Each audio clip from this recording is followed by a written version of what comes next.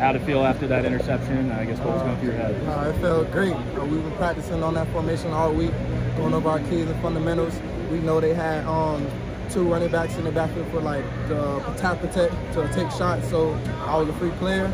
Uh, we're working, like I said, working on it all week. It freed me up, read the QB, and made a play.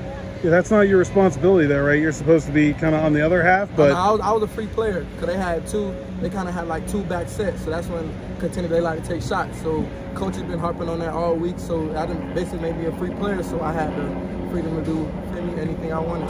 he didn't see you coming. I didn't see me. I bait him up. What changed in the game whenever uh, Hendon Hooker came in at quarterback? I feel like the tempo slowed down more, and it was less deep shots because Joe Milton he has a rocket of an arm, so he can throw it 60 yards plus.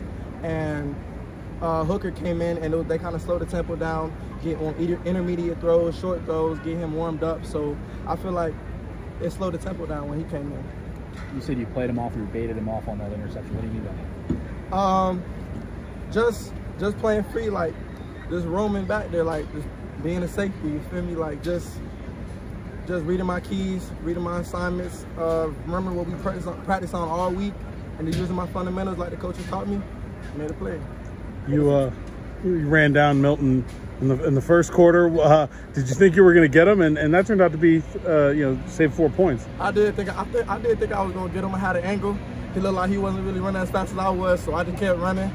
Um, just trying to stop it for the end zone, give give the defense another shot. Jim, you got the last one. What, what was the mood like on the sideline when you guys were down 10 nothing early? The mood coming into the game, coaches told us to weather the storm because we knew it was going to be a loud environment, a loud atmosphere. So we just had to keep our cool, keep calm.